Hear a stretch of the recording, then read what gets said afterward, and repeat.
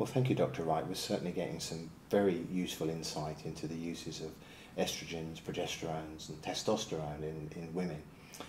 But I know that your team, you and your team, have unearthed some very interesting information about iodine and uh, also cobalt. Would you would you like to comment on how they might be uh, integrated into this kind of program? Yes, sure. And just before I do, you mentioned estrogen, progesterone, testosterone, and we mustn't forget when we're doing hormone replacement, there is a place for DHEA Ah, yes. and thyroid Yes. and melatonin, and who knows, even growth hormone. Mhm. That you'll need to talk. We'll need to talk to our doctors about, won't Yes, we? indeed, indeed. Yeah. Well, you'd mentioned iodine and cobalt. Um, turns out that both of them have a lot to do with the metabolism of estrogen, particularly. And all the metabolism means is all the changes a hormone goes through while it's being used, and then before and uh, being excreted from the body, because all are. They're uh, when we're younger, they're made and they're excreted, and they're made and excreted. And when we're older, the body does the same thing. It gets rid of a proportion of every day. Mhm. All right. Well, it turns out that that very important anti-carcinogenic estrogen called estriol Mhm. is very dependent on the body having sufficient iodine Mm. for it to be synthesized. It's actually naturally synthesized, but from a precursor hormone called estrone, Mhm. which is another one of the procarcinogenic hormones. Mhm. Well, if there's sufficient iodine present, the estrone will go through its steps, and out the other end will come estriol, and we now have a lot of this anticarcinogen. But if there's not enough iodine, uh, that won't happen. Mm. And if that's the case, actually a woman is at more risk for breast cancer. Mhm. So the iodine needs to be there in, in sufficient quantities.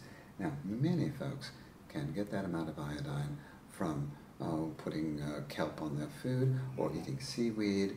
Um, Japanese diet's full of seaweed, and that's good. Um, but there are a few women who actually have to take supplemental iodine in order to get their bodies to metabolize the estrone to the estriol. In other words, to reduce the amount of procarcinogen and come out with more anti-carcinogen. Um, that's something that I just tripped over accidentally in treating, uh, working with women to treat fibrocystic breast disease. Mhm. Um, that treatment I learned from a Dr. John Myers, by the way. It's not original with me. Dr. Myers is no longer with us, but he left us quite a legacy of uh, how do you do this in natural medicine, Mm, how do you do wonderful, that, and so wonderful. forth. Um, and as Dr. Myers found, iodine will, if properly applied, get rid of fibrocystic breast disease Mm. 100% of the time. Goodness me. It's really interesting. Mm. And uh, I found Dr. Myers is completely correct. If we apply iodine correctly, nobody needs to have fibrocystic breast disease Mm. anymore. Mm. In the course of doing that, Mm. we ran some tests, and before and after, and the iodine had made such a difference in the estriol production. Incredible. So that's one. The second one is cobalt. Uh, that's another essential to life element, by the way, Mhm. uh, although just in minute quantities. Mm.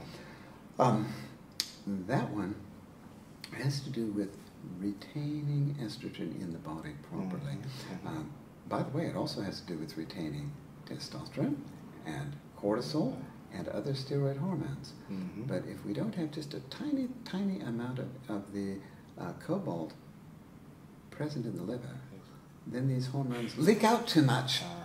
And so one's body can make a lot of hormone, but just goes out. Mhm. Um, that's a rare situation, Mhm. not very common, but it does come up occasionally. Uh, very fortunately, there is cobalt in the food. Most of us get enough of it there.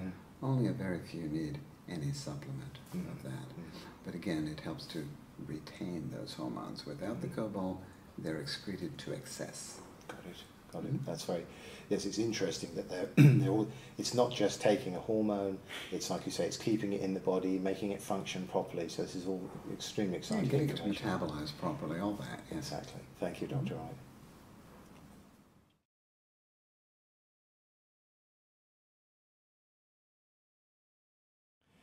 So thank you, Dr. Wright. And of course, you have an enormous experience, both both in the research and in the application with real patients, shall I say, uh, with these therapies. But I wonder, uh, the sort of sixty-four million dollar question is, how do the women do who, the efficacy and the safety and the side effects, who take, how should we say, standard HRT, and the women who take the bioidentical HRT, what, what sort of differences would you expect to see? Biggest difference is that the standard HRT includes not just horse urine estrogen, Mm-hmm. which, by the way, is natural Mhm. for horses. Mhm. Um, but being natural, it is less dangerous than the other component of, of, of uh, standard HRT, which is not progesterone. Mhm. In fact, it gets labeled progestin, which is a wastebasket word for any molecule that sort of looks like progesterone, Mm. but it's not really progesterone. That stuff has turned out to be procarcinogenic. Right. So when people use the horse urine estrogen and the progestin, and by the way, everyone knows it's called Provera, the Mhm. predominant one, Mhm. the risk of cancers actually goes up. Mhm. And that does not happen with the bioidentical hormones. Nobody's That's ever, ever found an increased That's risk great. of cancer from them. That's right. Um, now, insofar as how people do otherwise, over the long run, if one is putting molecules into the body, including estrogen, progesterone, that are ones that belong there, even if it is after menopause, one is much more likely to get health benefits. Mhm. Um, lowered risk of Alzheimer's, Mhm. lowered risk of cardiovascular disease, um, lowered risk of osteoporosis. Mhm.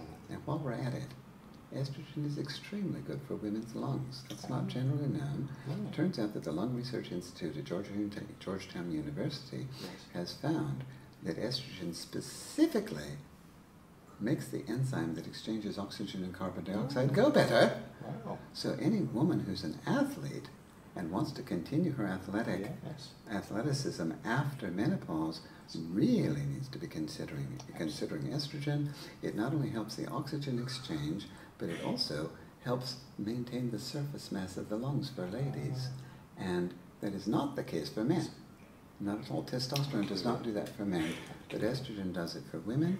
And if one goes right back to when one is pregnant, if one is of the right gender, Mhm. um, one is not only eating for two, one is breathing for two. Right, So it figures that the estrogen is going to increase oxygenation That's and great, everything. that's a great, great approach, and that's very interesting information. Yeah. I certainly wasn't aware of that. And that one doesn't get out there very much. No, it doesn't. Very important for lungs. Oh, I should mention then, for those of the ladies who are in the choir, hmm I hear from choir master after choir master, oh, she got her voice back when she started using estrogen.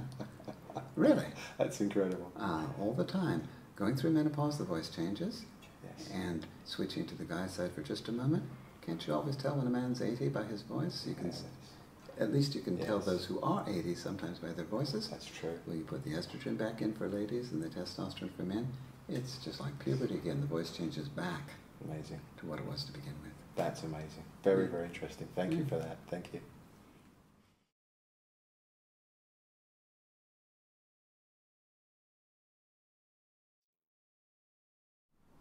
So what I'd like to say, Dr. Wright, in conclusion, is I'd like to quote you if you don't mind. And I think Oh, one, of the, one of the first times I had the pleasure of meeting you, many moons ago now, and you did say, I remember, that we don't have to be rocket scientists, that we all we have to do is copy nature. Exactly.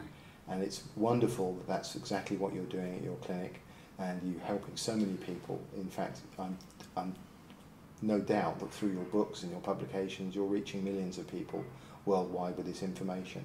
And I feel it's so important because um, as a pharmacologist, I'm always saying to people, the devil is in the detail. And I think there's a lot of women out there who regard HRT as being dangerous. And possibly rightly so with the standard approach, because as you've highlighted, it does definitely increase the risk Yes, of cancer. does. But not, of course, with the bioidentical approach, Right. which is what you're exposing, and I think that's wonderful work. So I do encourage everybody out there to go out and get your books, sign up to your newsletter, have a look at your clinic website, and learn more for themselves. And I hope our little video today will help do them just that. So thank you very much indeed. No, thank you. You're getting the word out yourself. Thank you. Thank you.